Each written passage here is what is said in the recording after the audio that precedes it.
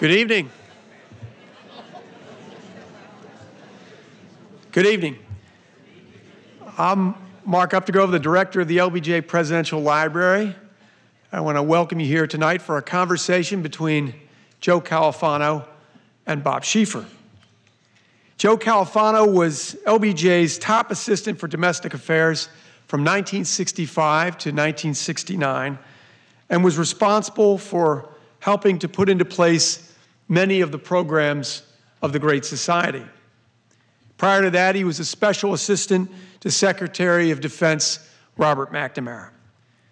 Joe went on to serve as Secretary of Health, Education, and Welfare for President Jimmy Carter from 1977 to 1979, and then served as chairman and president at the Center on Addiction and Substance Abuse at Columbia University.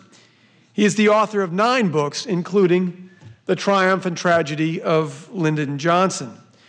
Originally published in 1992 by Simon & Schuster, the book has been re-released uh, and is now back in publication. That's very unusual in the book industry for a, a book that's 20 plus years to be re-released, and it speaks to the excellence of this volume.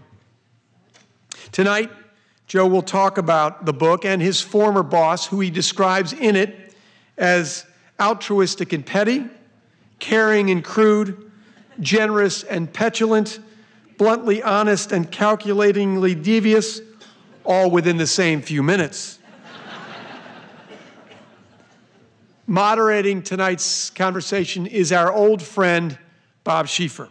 Bob is the longtime host of Face the Nation, the highest rated Sunday talk show for now the fourth year in a row.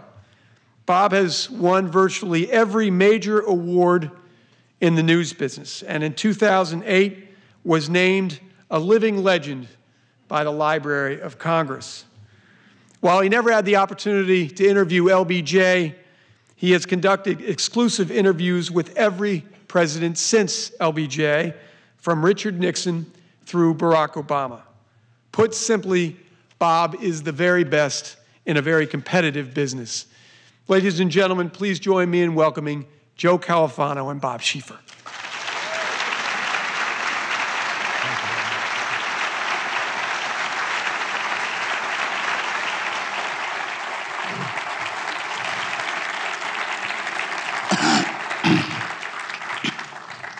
Thank you all so much for uh, coming tonight. I hope we're going to have uh, some fun here.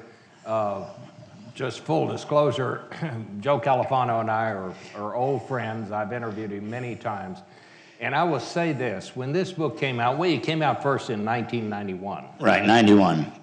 I said at the time that I thought it was the best book about Lyndon Johnson uh, up until that point. To me, he just jumped off, off the pages. Uh, some time has passed since then, and, and, and Joe, I think it's still the best of all. And uh, it was such a wonderful book. um, in this uh, new foreword to this book, uh, which you wrote, uh, which I found just as fascinating as uh, is all of the things uh, that you that you put into the book back then. Um, you say that we live today in Lyndon Johnson's world. Why don't you talk a little bit about that?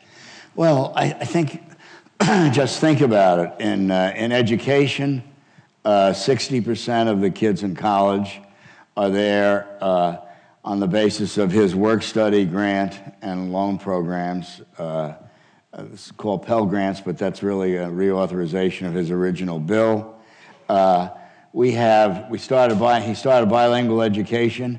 We have 70 different languages now for bilingual education in the United States of America. Head Start, remember uh, preschool.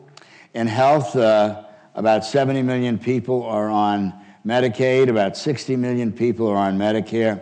Two thirds of all the nursing home care in this country are paid for by, uh, by those bills. And uh, of course, the civil rights bills, the 64 Act against prohibiting discrimination in employment and, and, and in uh, public accommodations, the Voting Rights Act, which is so controversial even to this day, Supreme Court just yesterday ruling on it, and, uh, and the uh, Fair Housing Act, which we could probably talk about later. Uh, people forget immigration reform. When LBJ became president, we had something called the National Origins Quota Act, you remember, Bob, and then, and, and when that, it, that limited basically immigration in this country largely to the British Isles and Northern Europe. He got that repealed and he proposed an immigration reform law. At the time he became president, 85% of our immigrants were from the British Isles and Northern Europe. After he opened this country to the world, this year, this past year, 15% of our immigrants were from those places. 85% of immigrants from Asia, Africa, the Middle East, Central America, South America, Southern Europe, and Eastern Europe.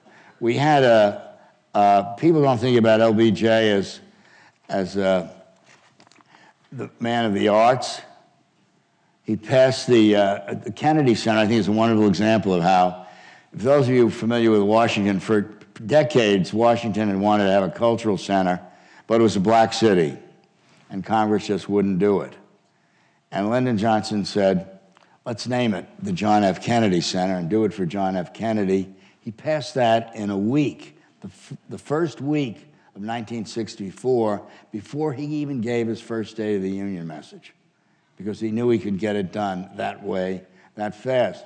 The Hirshhorn Museum, Sculpture Gallery, and the National Endowments for the Arts and Humanities, uh, which have spawned thousands of opera companies, of theater companies, of dance companies, of orchestras, popular and chamber, uh, and the Freedom of Information Act, which will create its own set of problems for Hillary Clinton and I'm sure other candidates, and, uh, and the Corporation for Public Broadcasting, uh, where Johnson Great Society laws.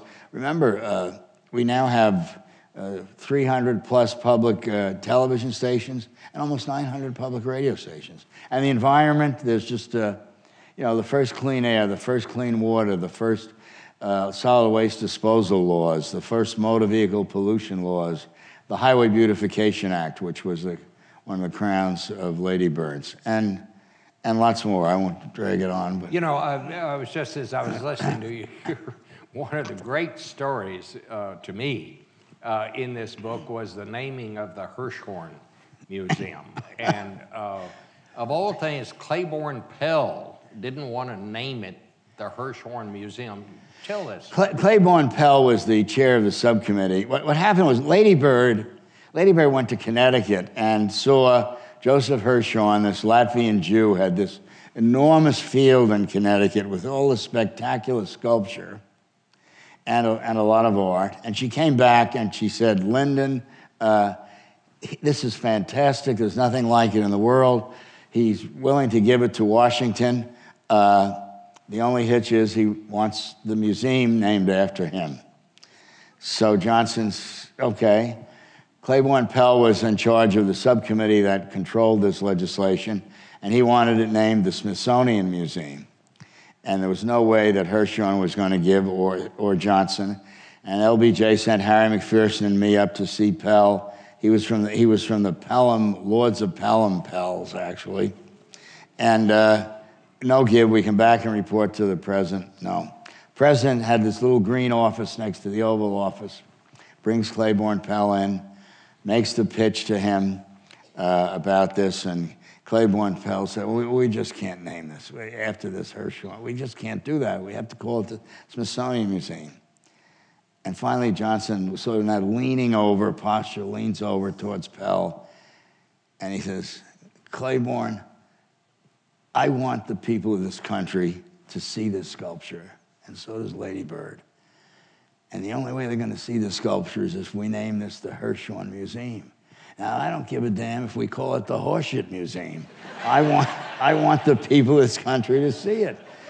And, and Pell was kind of shaken and embarrassed, and a couple of days later, he called up Harry McPherson and said, it's fine. We'll go with the Hirshhorn Museum. well, that's just a little bit of, a, of an insight. but you were his closest aide on domestic affairs. You were there from early in the morning until late at night uh, for three and a half years. And I, I just have this simple question how did he do this stuff? That's one story you told. But I mean, Well- over and over, in so many different ways, he found a way to get it done. Yeah, he did. He, he- well, well, one, he wanted the staff there at every moment. I mean, he always wanted you at the other end of the line, and he, he. Uh, I was only there a week or so. Uh, I think it was the second week. I had an office down the hall. Uh, it was a large office because we used to have all these meetings to plan these programs, and I had my own bathroom. And he called one morning about eight o'clock, and uh, my secretary, incidentally, a call from Lyndon Johnson in those days, we had a line called a POTUS line. It just rang. It didn't ring intermittently. It rang until it was answered. and you could never pick it up fast enough. He always made you feel like it. And, and he said, uh, she answered the phone. He said, where is he? And she said, well, well, well, he, he- he's in the bathroom, Mr. President. He said, isn't there a phone in there? and she said, no. He said, put a phone in there. So I came out, uh, and Peggy was there, and she said, President wants a phone in the bathroom. I said, forget about it. We forgot about it. The next morning, same time, I'm in the same place, the same call. And he shouts at Peggy. He says, I told you to put a phone in there. And she said, Yes, Mr. President, yes, Mr. President. By the time I got out of the bathroom, there were two Army Signal Corps guys standing in my office, and the phone was installed. So that was, that was when they wanted you all the time. I mean, I, I, I just, and, and, and secondly, uh, he, he saw, an, he, he saw things, uh, always a way to do something, or we needed a law, we need some help. Another, another, story about trying to get me. I, I, one of my kids, I, I was at Sibley Hospital in, in uh, Virginia, in, in Washington. My son Joe had swallowed a bottle of aspirin, and president called, and of course I didn't, you know, I just ran. I didn't leave a phone number. I didn't. And finally, he got gets me at the hospital, and uh, he said, what, "What are you doing? What the hell are you doing there?" I said, "Well, my son swallowed a, swallowed a bottle of aspirin." and he's two years old. He said, "Well, he said that's terrible, terrible." He said, "You know, we shouldn't, we shouldn't have, we should have make these people have these bottles so that little kids can't open them." and that's why most of us in this room have trouble opening our medicine. It's called the Child Safety Act. but he, he knew how to take care of people. I mean, uh, just, how did he do it? Uh, elementary and secondary education. For years, we'd been trying, had been on the Democratic platform to have federal aid to elementary and secondary education in poor schools. Couldn't get it. The problem was the Catholics were able to block it unless it provided aid to parochial schools, and the evangelicals and the urban secular Jews uh, were able to block it if it did provide aid to parochial schools. And it couldn't make any progress, and Johnson started working on it, working on it.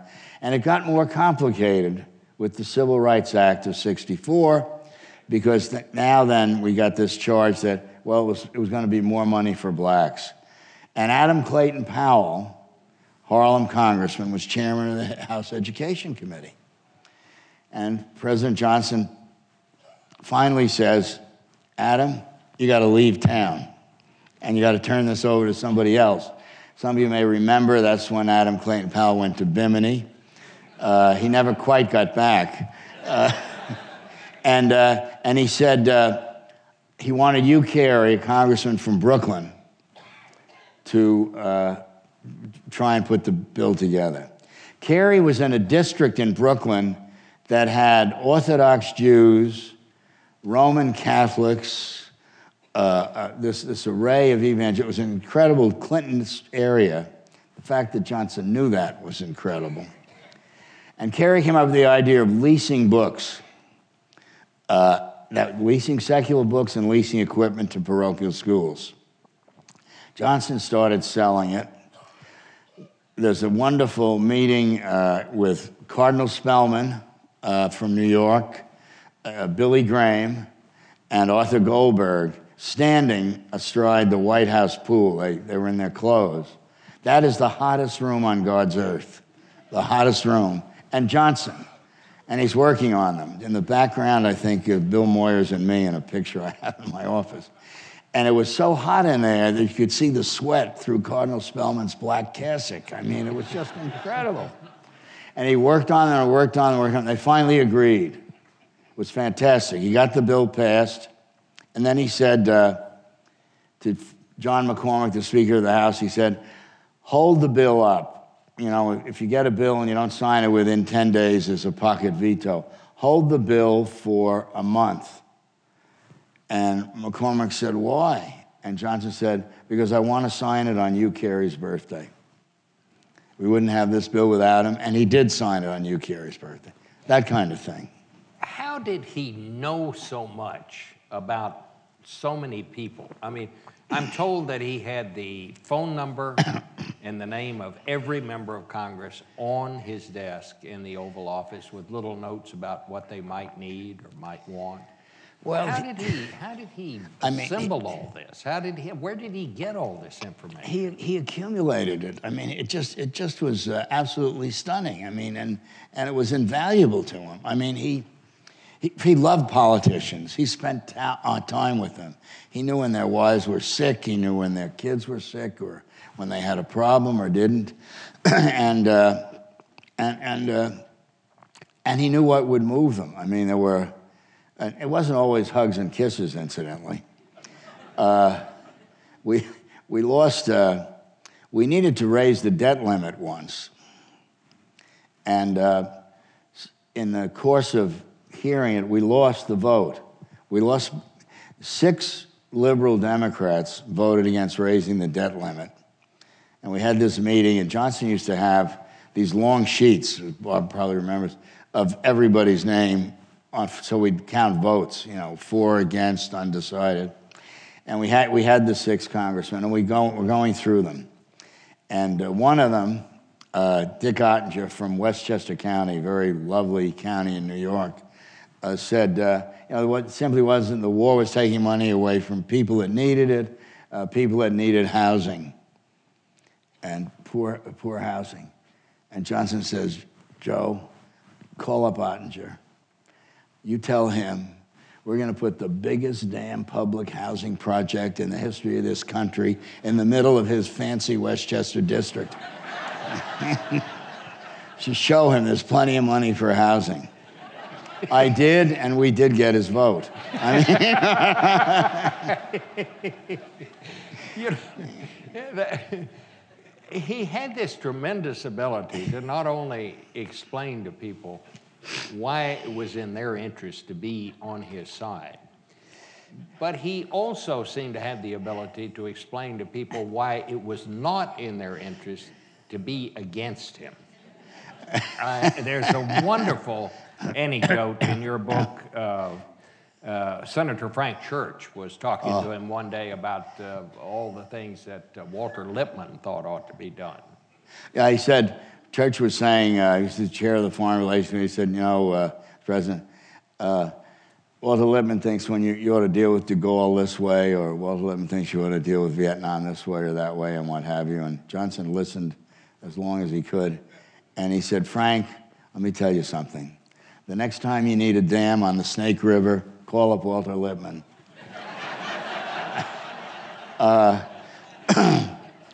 No, he, he- he, he did have that sense, and he, uh, he also, you know, in, in almost impossible situations, he'd figure a way to do something. Uh, the Federal Reserve Board was chaired by William McChesney Martin, who was the, the great oracle from Wall Street, very conservative. The board has seven members. McChesney had four the, the, the, basically there were three low interest rate people, as Johnson used to call them. He was for low interest rates all the time. And McChesney was starting to raise interest rates.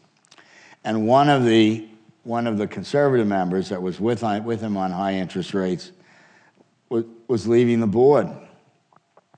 And Martin called me up and said, Joe, I just want you to tell the president uh, if he appoints a liberal to the Fed, uh, I'm going to have to resign.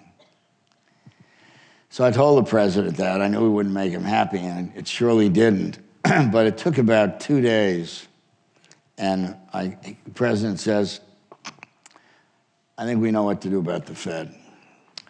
He said, uh, We'll appoint Andrew Brimmer. Andrew Brimmer was a Har- very good resume, Harvard, MIT, black, and uh, from the Commerce Department.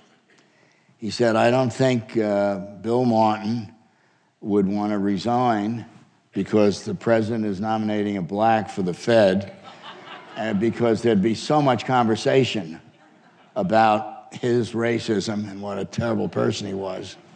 Conversation was quite clear we were prepared to generate. In any case, but then there was a problem with Brimmer. We had to get Brimmer through the Senate Finance Committee. The Senate Finance Committee was chaired by Russell Long, a staunch segregationist, very tough, uh, from senator from Louisiana. Andrew Brimmer had been born in Louisiana. And the president calls Russell Long over to the White House and says, Russell, I've got the man for the vacancy on the Fed. And Russell started to say, Well, I have some ideas. I said, he said, John said, I have the right person. I said, Russell. He describes Brimmer's background and he said, and he's from Louisiana. And Russell says, From Louisiana. And Johnson says, Yes, Russell, I want you to introduce him to the committee, to your committee. I want you to propose him, and I want you. Absolutely, Mr. President, I'll do it. And Johnson shakes hands with Russell. And, and this other hand, he's got a white folder, manila folder, and he hands it to him. He said, Now, here's some information about him so you'll be right up to date. Russell takes the folder, and the first thing in the folder is a picture of Andrew Brimmer. and Russell kind of gagged a little bit, but he did it. I, partly, incidentally, as Bob knows, and in those days, a handshake was a contract. Yeah. yeah. That was it. But, and, you know, John, Johnson loved to do something like that. You know, I wonder sometimes if that it's that zest for politics, the zest for making the deal, that, that somehow seems to be missing in Washington today. Uh, nobody seems to be enjoying. Uh, uh, I, I, know, you know, you talk to people in the Obama administration about LBJ and how he did these things, and, and they're always a little defensive about it. They say, well, you know, uh, your LBJ had uh, may have had some bad problems, but they would say, uh, but it was a totally different time. The way Johnson operated wouldn't work today. Would it work today? I think a lot of it would. I mean, I have to say, you, have you remember the, the, argument, I think, of the Obama folks is really the Tea Party. We can't, the Tea Party Republicans won't do anything. But people forget the Southern Democrats controlled every committee in the Senate and most of the committees in the House. They were not with us. It wasn't just on civil rights, it was on the Great Society programs and government intrusion, it was on, on our budgets and funding. And, and uh, he, you know, he managed to work, work around it. He had, you know, uh, Medicare may be a good example compared with the Affordable Health Care law. I mean, uh, Medicare and Medicaid uh, were remember the Democrats, I guess from Harry Truman, Roosevelt didn't put health care in the Social Security bill because he thought it could never pass. Truman tried to do it and was just clobbered by the American Medical Association. Johnson worked on it, worked on it. The bill we started with was not the bill, was not the ideal bill. The first thing we had to do, and he, and he kept saying, we have to get half the Republicans to do this, we have to get half the Republicans for two reasons. One, we needed their votes, but two, he said, if we don't get half the Republicans, uh, they'll kill us in the appropriations committees. The Republican governors won't want to run Medicaid, uh, which was the way the Medicaid was going to be run. And so we gave, we gave, we gave doctors their usual customary and ordinary fees. We gave the hospitals cost plus reimbursement. Uh, we, uh, we, we gave a lot of things, but we did get the bill passed.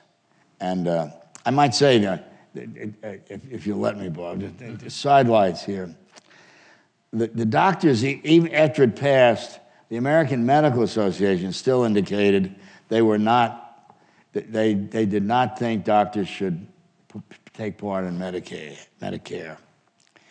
So the president invites the AMA to the White House in the cabinet room, puts the president of the AMA to his right and other members there, and before they can say anything, he says, I have this terrible war in Vietnam. I have an awful problem. I have the doctors in the military, but I need doctors to help take care of the civilian population. I want you to start a program to help uh, uh, take care of the civilian population. Maybe send doctors over for three months or six months on rotation. Uh, your president and your country really need you. Will you do it? And the head of the AMA said, Of course, Mr. President, we will do it. We will do it. Call in the press, Johnson says, right away. Press comes in. LBJ announces the program. And the first question from the reporters is the, Will the AMA support Medicare? Will the doctors support Medicare? And the president looks surprised at the question, puts his hand over the arm of the head of the AMA, and he says, these men are willing to put their lives on the line for this country. Medicare is the law of the land. Of course they'll support it. Doctor? And the doctor said, Yes, Mr. President, we're with you. now, it took, you know, forgive the expression, balls to get something like that done. Do it.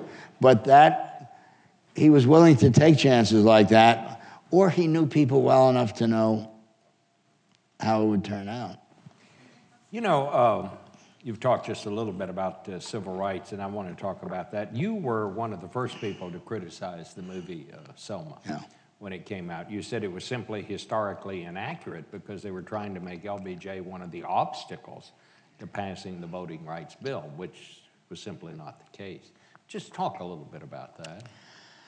Well, uh, I, I, I, I got a call from a couple of people uh, in California, actually, two, two of whom had won Oscars, saying they'd seen a screening of the movie and it was a terrible portrait of LBJ. wasn't what he was like. He was presented as an obstacle, and uh, it was, you know, looking down on King in meetings. And then I got a call from a couple of people in New York, uh, one of whom was black, actually, and I so I, I, was revved up. I went and see, saw the movie the morning after Christmas. I was, it was furious. One, the meetings with King and Johnson just weren't. Johnson was portrayed as not wanting to do this, as having to be shoved into it. Number two, there's a scene in which uh, Johnson's sitting at his desk, and at J. Edgar Hoover is there, and he says, You know, Mr. President, we can take care of this guy permanently or temporarily, meaning we can knock them off. Uh, and, and, uh, and, and, and a couple of other scenes in which Johnson was really uh, nasty, condescending to Dr. King. So I wrote a stinging column about it. Uh, and I have to say, uh, Andrew Young, the, the, first meeting in the movie is, de- is December 14th, 1964, was at that meeting between uh, the president and Martin Luther King, and he said it was a meeting. They were two respectful people. They were trying to figure out what to do. Neither of them knew about Selma at that point, Andrew Young said. And then Julian Bond, I think, went on CBS Evening News one night and said that uh, the portrayal of Johnson wasn't correct, nothing would have happened. Uh, and most importantly, on January 15th, 1965, President Johnson called Dr. King. And I urge everybody here to listen to that conversation. Uh, it's about a 10, 12 minute conversation. It starts with a discussion of, of Negroes, and Negro is the term then in high positions, and Johnson tells King he's going to name the first black Negro cabinet officer. I, and, uh, And he tells them who it is, something he didn't tell me until a year later, incidentally. That would be Bob Weaver. They then talk about, and then Johnson says we're going to have millions for health and education. And, uh, but the most important thing, doctor, is the vote.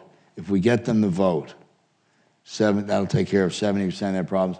And then he says, you can help, you can make a contribution, is Johnson's term. If you find the worst place in the South where a Negro has to recite amendments to the Constitution or this or that, and a white doesn't in order to register to vote, and you go down there and get your leaders down there and get it in the pulpits, get it on the radio, get it on television, and that'll build up the point where a guy that drives a tractor says it ain't fair, it's not fair. And that'll help me shove through Congress what I want to shove through. And, uh, and King, King comes back on February 9th and says the place is Selma. And of course, they had the horrible march in which uh, the, the uh, minister Reeb was killed, John Lewis was beaten up. Uh, Johnson then calls Governor Wallace of Alabama to the White House, and George Wallace says, uh, He's nothing he can do. Johnson says, You got to let these people vote. And Wallace says he has no control over who votes. There's a wonderful Johnson line which he says, uh, That's bullshit, George. You were able to beat me. It's a lot easier to slip on bullshit than it is on gravel. I'll never hear that line. and, and then he lets Wallace out to the press corps where he knows, and he, Wallace also says he can't, he, he won't be able to protect the marches. He lets him out to the press corps and he recites all his stuff.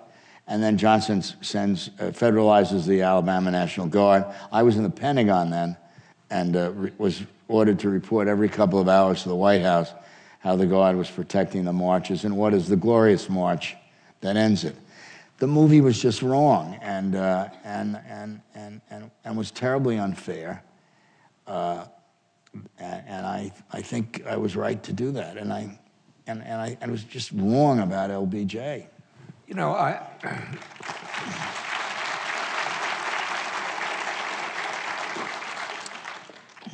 The truth is that Lyndon Johnson and Martin Luther King Jr. were both very good politicians. Yeah. And they used one another. Uh, but I think in listening to some of these other stories you, you, you have told, it just underlines to me the way Johnson always found a way to use events to get people uh, to see his point of view. He never let anything go. You're right. He was very opportunistic. Very, and you know, there's no better example of that than the uh, actually the Fair Housing Act. King was assassinated. It was the worst week. It was the worst week in Washington. Uh, the, the, night, the night of the assassination, he had me call up the black leaders. He wanted to get them to the White House the next morning. They came. He talked to them. They left. We, had, we were having riots. They left, and he said, uh, Joe, we're going to get something out of this terrible tragedy. We're going to get our Fair Housing Act. Now, we had not been able to get move the, the Fair Housing Act, which basically prohibited discrimination so anybody could buy a home anywhere they wanted to if they had the money. Uh, what was the most, we got more nasty mail over that piece of legislation than anything else we proposed. We finally, in, in, in January of 68, before, well before King's assassination, were able to get it through the Senate. I think it was January or February. This is the middle of Tet. We all remember Tet the president calls up Phil Hart, liberal congressman from Michigan. It had been reported out of the committee and says, Phil, take this to the floor, take it to the floor this week, and we'll get it passed. Gets it passed. No chance in the House because Emanuel Celler, who was chairman of the House Judiciary Committee, was a congressman from Crown Heights, where I grew up in Brooklyn. Crown Heights was a large, but now a Jewish district, and blacks were moving in. And Celler was worried that if he were any part of the fair housing bill, he'd have opposition, he might not get reelected. the, that day after, after King's assassination, Johnson sends a letter to the Speaker, McCormack, and Jerry Ford, who was the minority leader, asks them to pass the fair housing bill. And the question is how? And Johnson says, take it directly from the Senate to the floor of the House through the Rules Committee. So it never has to go through Celler's Committee. Then Celler will never have to say he reported it out, and we'll get it passed. And that's exactly what happened. And, you know, he was willing to, to do that. And was, he, those things were very important. He also had, as you know, Bob, a terrific sense of humor. I mean, the, the, in the worst circumstances, Johnson uh, could uh, had had a light lights. He, had a good sense of humor. The worst was that week. Was was that week.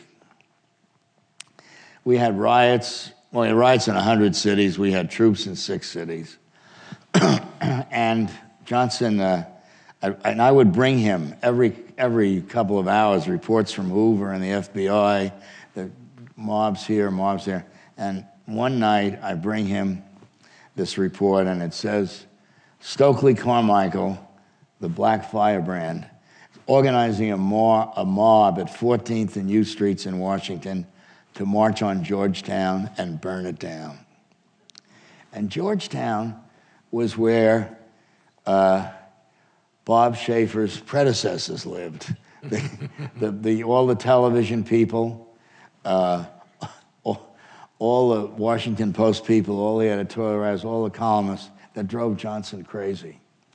And he reads this message and he reads it aloud. And he says, God damn, I've waited 35 years for this night.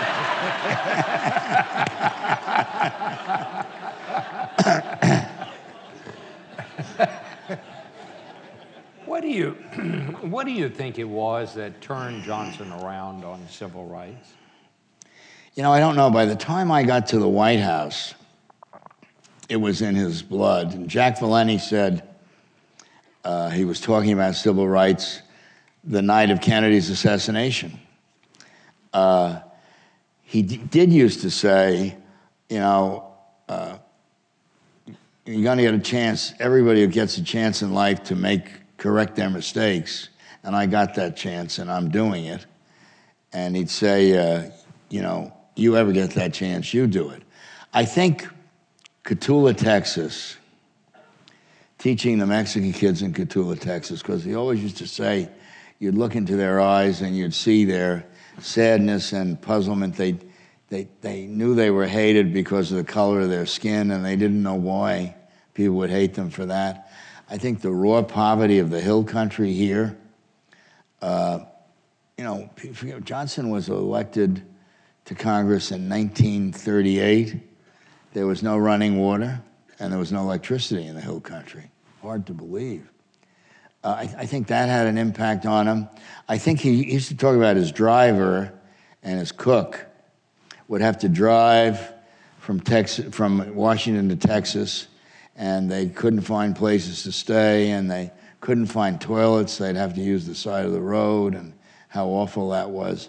I think all of that accumulated. And in Bob Caro's book, he writes that in late 63, before the first State of the Union, Johnson said, We're going to, go, we're going to propose the Civil Rights Act prohibiting discrimination in employment and accommodations in 64. And they, his aides all said, No, uh, that's an election year, wait a year. And that, you know, famous remark of his, what the hell's the presidency for? I think that, uh, and he knew, and he knew we were paying a price for it. I mean, when the Civil Rights Act of '64 was passed, he said, "We're turning the South over to the Republican Party for my lifetime and yours to Bill Moyers." Uh, he, he knew the, the fearful price we were paying uh, on every one of those bills. And he had, I'll tell you how dramatically he had changed. In 66, we lost 47 seats in the House, and we lost four or five seats, I can't remember exactly, in the Senate. And uh, the Southern governors and the border state governors, Democrats, came to the ranch to see him. They basically they wanted they wanted him to end the school desegregation pressures and, and the enforcement of the 64 Act and the and the voting rights monitors and what have you.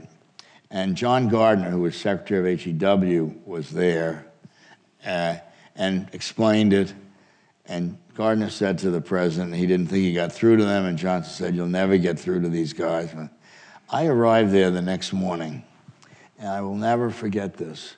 Uh, I said, You know, how, I, I didn't know anything had happened that I said, How did it go yesterday with the governors? And Johnson said, Nigga, nigga, nigga, nigga, nigga. That's all they said for four hours. And if I can do anything, I'm going to drive that word out of the English language. So he had really.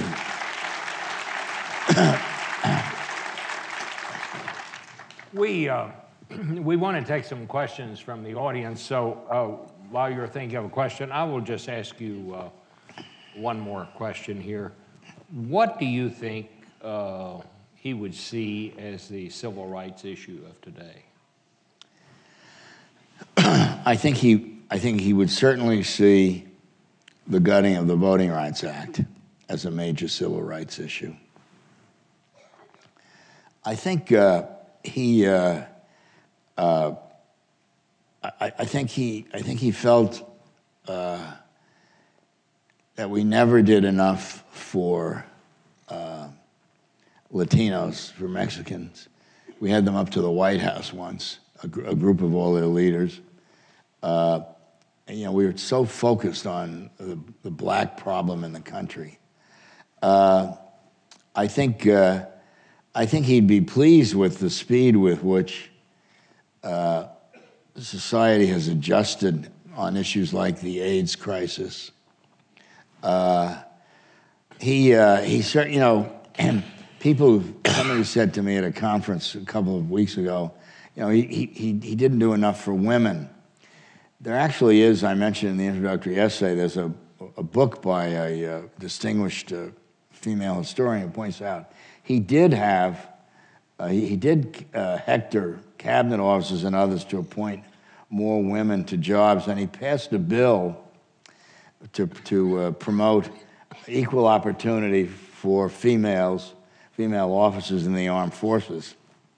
And when he signed that bill, uh, he said, uh, someday uh, we'll have female admirals and female generals and maybe even a female commander in chief. That's a direct quote from his message that day. But I, I think, I, think, uh, I think he would still be working very hard on the, the hardcore poverty. Uh, I, I, think uh, the education system, and I, and I think this issue, uh, which, which gets some attention periodically, people forget Lyndon Johnson gave a speech at Howard University uh, about, which is where he articulated the concept of affirmative action, which was what the speech is most remembered for. But in that speech is a whole section talking about, uh, in the phrase then, the Negro family, and the fact that if you look over history, uh, you know, you start with slavery, so you'd sell the man or the woman, whether they were married or not, didn't make any difference who was stronger, who was better. Then we had the Emancipation Proclamation. And then the men moved north because there were better jobs up north. But they left their wives there, that they're men. They, they, they, they may have taken on women up north, but they didn't marry them. And then we passed a Welfare Act, passed in the Roosevelt years, in which we said you can only get welfare aid for dependent children if there's no man in the house. Uh, this is for mothers and children. So we, we, we, provided this, you know, 150 years of, of incentives to break things up.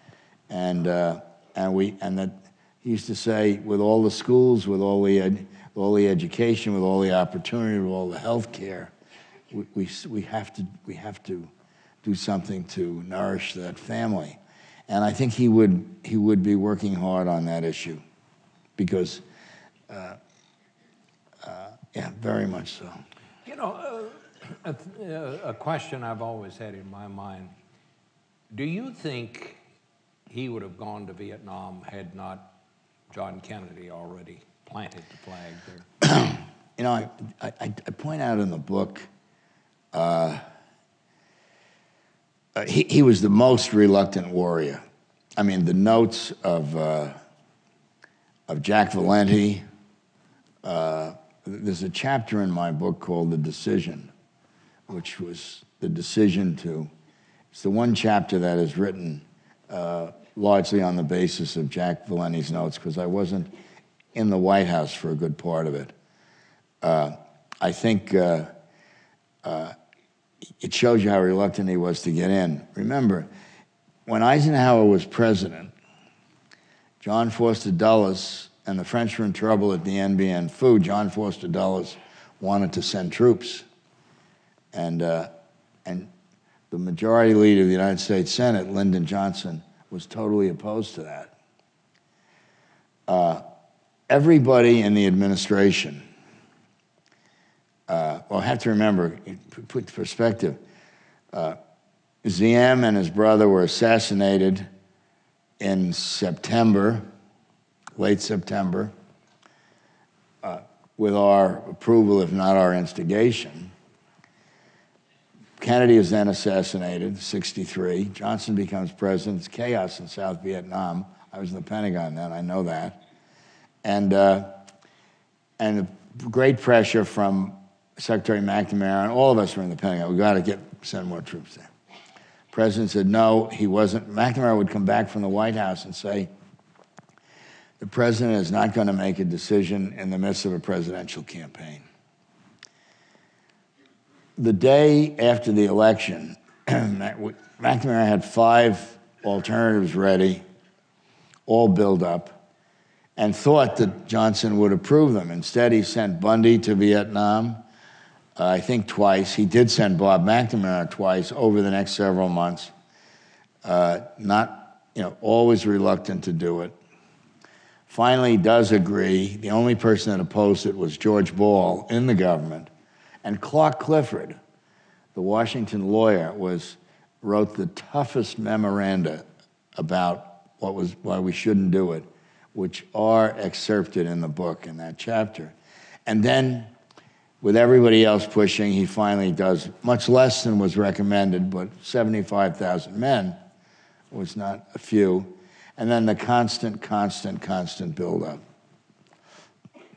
I think uh, by the end of 67, he was really determined to end the war in his presidency. And in retrospect, what, what I didn't know about Clifford's really, really vehement opposition at the time. But he decided to make, make Clark Clifford Secretary of Defense when McNamara left. And McNamara used to say he never knew whether he resigned or was fired. He wasn't the only person that said that when they left Lyndon Johnson. uh, he, and I think Clifford was put there to stop it.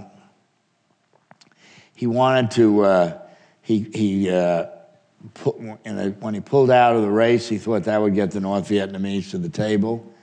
It actually did, among other things, that and the bombing pause. They, uh, he got the Pope involved. They agreed to go to France. They were negotiating in France. We, uh, uh, hopefully, there would, you know, I think he thought he had every chance. Then the Russians invaded Czechoslovakia, which changed the whole international atmosphere. And then we have what we now know a lot more about the tapes, the NSA tapes of Anna Chennault talking to the South Vietnamese on behalf of President Nixon, saying uh, to the South Vietnamese, don't agree to the deal Johnson's making with the North Vietnamese, you get a better deal uh, with Richard Nixon. And, uh, and it just was not to be.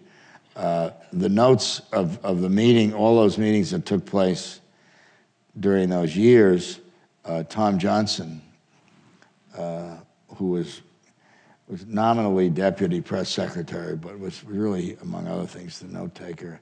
And I've urged and urged and urged that he write and, and get all those notes out there.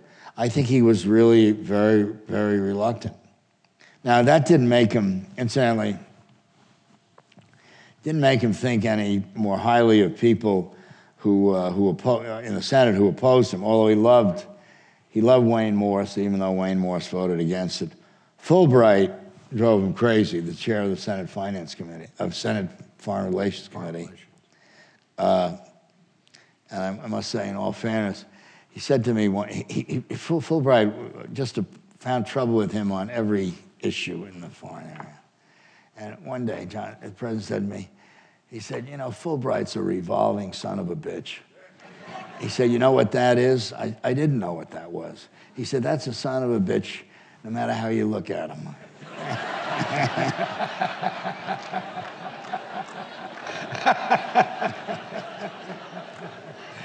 we have time for a couple yeah. of questions. Is there anybody out there would like to uh, ask one? There's a, there's a gentleman right there. Hi. Um, I'm curious. Uh, on uh, August 1st, 1966, there was a shooting here on campus, and um, I know that President Johnson um, responded to that shooting the next day in a press conference, and six weeks later, he wrote a letter to uh, congressional candidates, uh, congressional leaders. Um, I'm curious. Do you remember that day, and do you remember what his reaction was as the news came in of the shooting? You know, I, I honestly don't. I do remember that he was really uh, very much for gun control in a very big way. Uh, I remember uh, he, uh, he proposed the licensing of every gun owner and the registration of every gun, along with ending the sales of Saturday night specials, uh, no sales to minors, no interstate sale, no sales across state lines. We couldn't do anything with it. He did try, uh, Bob was mentioning the, the opportunistic part of him when Robert Kennedy was killed, he said, maybe we can get our gun control bill. And uh, it was locked up in the Senate. He said, we have a week to 10 days. We got to move right away, or the NRA will, will, will roll over us.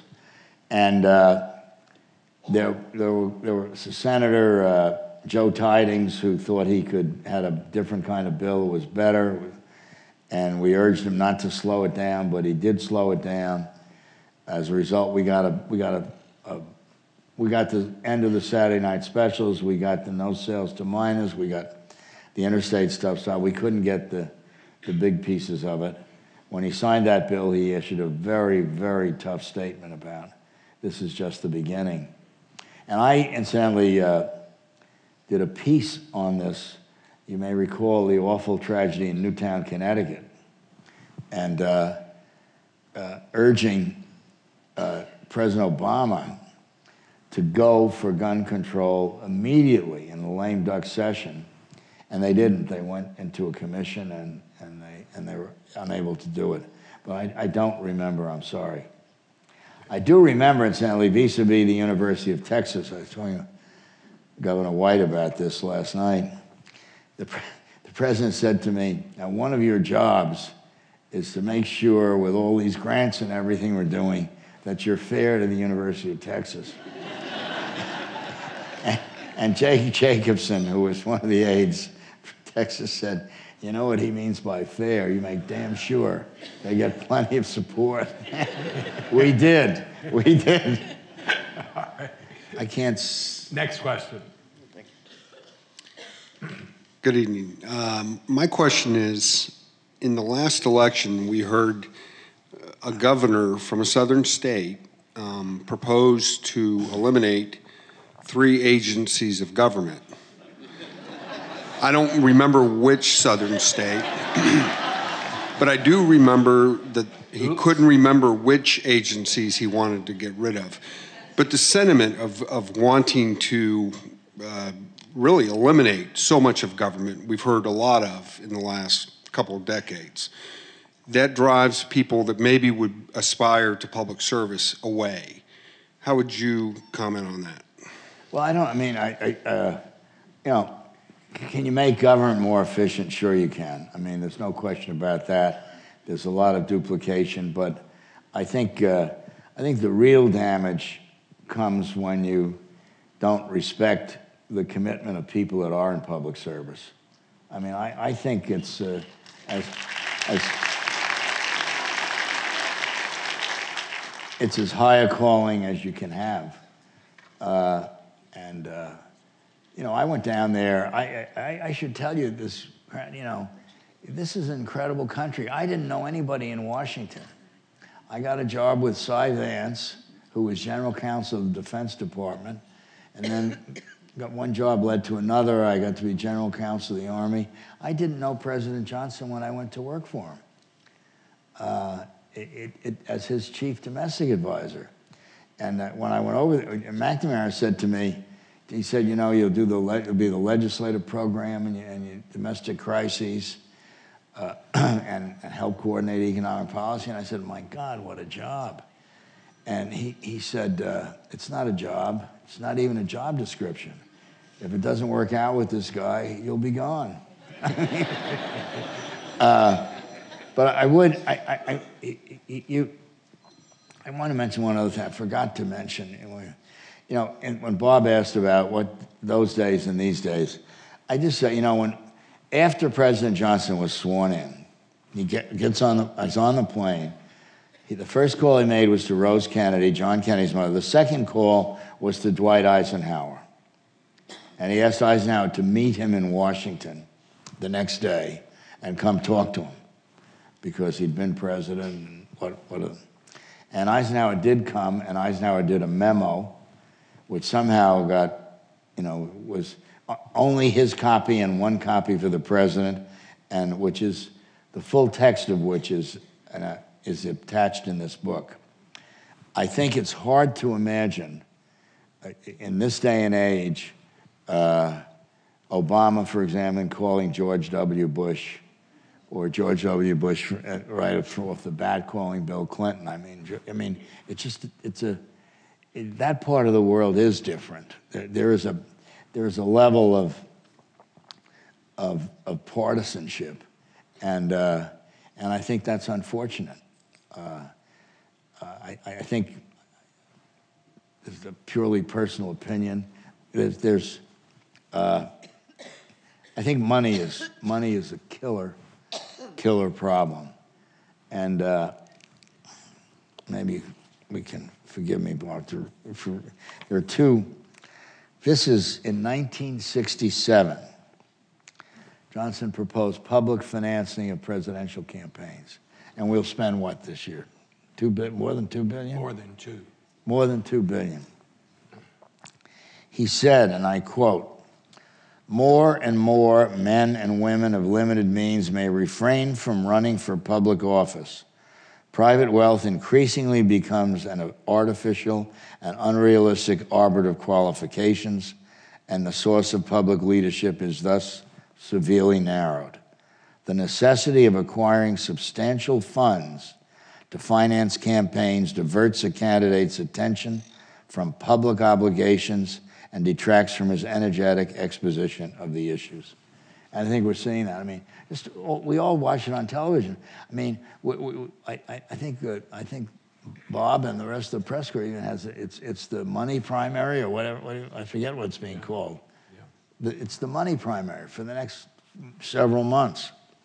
Uh, the other thing that's in the book I just mentioned, a, a very warm, I mean, uh, warm and moving letter from Luci Baines Johnson, who wrote it uh, in Christmas of 1991 when this book was first published. Uh, maybe the best piece of writing in the book. Uh, I wouldn't want to end without, I'm always asked the Johnson treatment. And the best uh, description of the Johnson treatment comes from uh, Hubert Humphrey. And I'm, again, I'm, I'm quoting from the book, but Hubert Humphrey once described what he felt like being subjected to the Johnson persuasion treatment of argument, mimicry, humor, statistics, and analogy, with LBJ pulling one supportive clipping and memo out after another out of his pocket. It was, Humphrey said, and I quote, an almost hypnotic experience. I came out of that session covered with blood, sweat, tears, spit, and sperm. Ladies and gentlemen, Joe Califano. That's great. Bob, thank you. I really thank you. Thank you. Thank you.